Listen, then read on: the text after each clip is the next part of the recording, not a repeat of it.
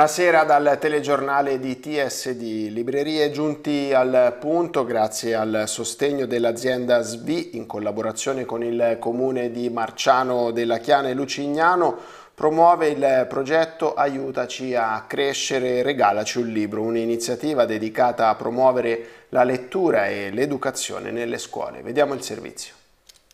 Come sempre la SVI è attenta al territorio ma non solo, attenta anche a ciò che fa per il territorio, come questa è una di quelle iniziative che fanno bene al cuore perché guardano al nostro futuro, guardano al futuro dei nostri ragazzi, quindi donare dei libri ai nostri plessi che sono l'infanzia e la primaria significa formare dei ragazzi fin dalla primissima età e saranno adulti migliori proprio perché hanno avuto una formazione migliore. Io devo dire che in questo territorio grazie alla SVI, grazie soprattutto alla nostra formazione, alla qualità della nostra scuola, a quello che investiamo come amministrazioni comunali, qui possiamo dire che davvero la scuola può fare la differenza e non soltanto nella formazione ma anche proprio come servizio alle famiglie. Ovviamente essendo docente credo nella cultura profondamente, è una cultura che comunque non è, non è solo a parole ma è una cultura di fatto, io la chiamo una cultura di fatto, cioè il sapere, perché comunque è tramite il sapere che si diventa grandi e si, eh, si amplia la mente e quindi il sapere è alla base di tutto. Stasera eh, tra l'altro ero anche un attimo emozionata, anche se eh, orgogliosa di essere qui perché avevo le mie colleghe davanti a me e quindi fare il sindaco davanti alle mie colleghe insomma, è stato un pochino più difficile che in altri momenti, però ovviamente eh, gli auguri a loro e a tutti i miei alunni senz'altro, non solo ai miei alunni ma a tutti gli alunni. Crediamo molto diciamo, nella formazione dei ragazzi, i ragazzi oggi piccoli domani diventeranno degli uomini, quindi avere la possibilità di leggere dei libri, potersi formare è per noi diciamo, motivo di orgoglio nell'aiutarli a crescere. Cioè bisogna diciamo, portare questi ragazzi a capire che la realtà della vita è diversa da quella che viene rappresentata nei telefonini e nei social. La vita va vissuta con tutti gli aspetti della società. La lettura deve essere un piacere, è, un, è, una proposta che noi facciamo in tutte le nostre scuole e al di là della bellezza del libro cerchiamo di rendere anche l'ambiente accogliente. E sembra una, una, cosa da poco ma per i bambini e le bambine eh, rappresenta un elemento di, di benessere, di star bene perché a casa dove si legge il libro? Si legge sopra il divano, sul letto, sdraiati a terra. A scuola non si può leggere soltanto sul banco, seduti come se facessimo un compito, dobbiamo leggerlo con piacere, quindi nelle nostre scuole stiamo cercando di creare angoli in cui anche il, diciamo, rendere lettura, poter rendere la lettura confortevole eh, possa diventare dire, la, la, spinta per, per invogliare i nostri bambini e le nostre bambine alla lettura. A Torrita di Siena è stata inaugurata la prima tunnel farm in Italia. Vediamo di cosa si tratta.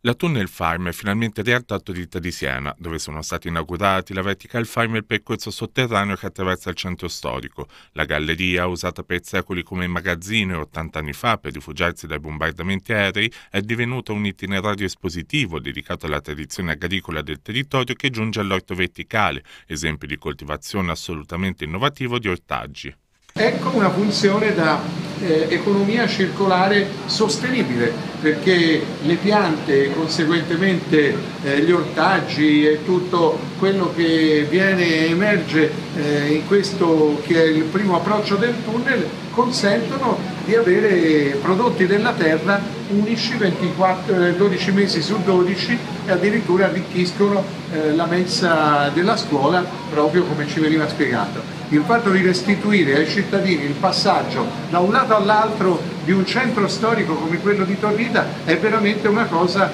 che come si diceva c'è in Giappone e c'è in Gran Bretagna. Ora c'è anche in Italia, grazie a Torrita, al sindaco Grazzi, Elena Rosignoli che è la nostra consigliera regionale e insomma tutto questo eh, diventa davvero oggetto di forte curiosità ma anche attrattiva per Torrita. Eh, è un primo eh, esempio italiano di struttura di questo tipo eh, realizzata in sotterranea. E in realtà ne esistono pochissimi altri esempi al mondo, uno è a Londra e uno è in Giappone, ma la particolarità del nostro eh, orto verticale, della nostra vertical farm è che è la prima